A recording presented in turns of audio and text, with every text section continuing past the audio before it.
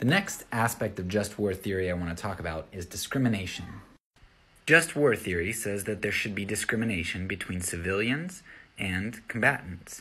We shouldn't just try to kill anybody, we should try to keep the killing only to armed combatants. The first big problem is who is really a combatant in war? And this is especially true in modern warfare.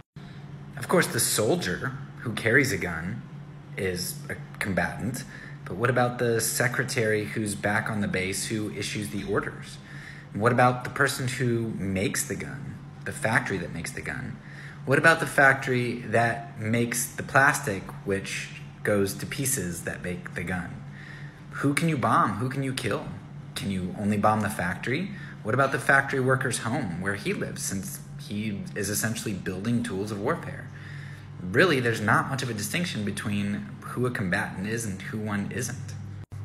A further issue in this aspect, and this is more true in democratic societies, but if a government represents me and I'm a regular civilian, then in what way doesn't another country have a right to take vengeance out on me?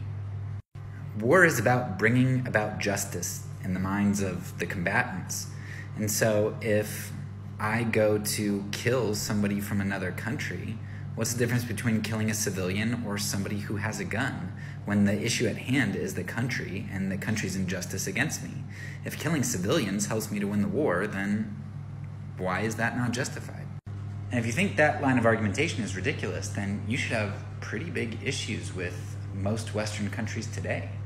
Think about the blockades against Germany and other countries that starved thousands upon thousands, maybe even millions of, of individuals.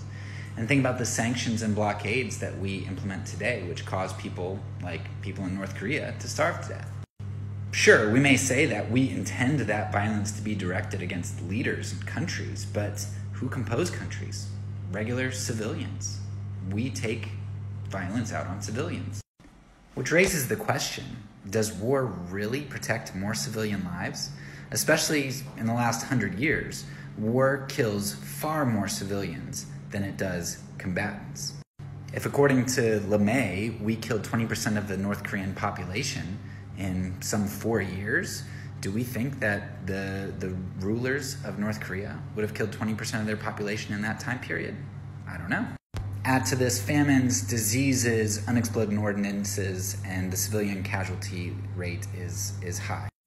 Finally, what about more creative solutions? Like in World War II, what would have happened if the United States would have actually taken in Jewish refugees and Hitler had nobody to kill? But war is always more love than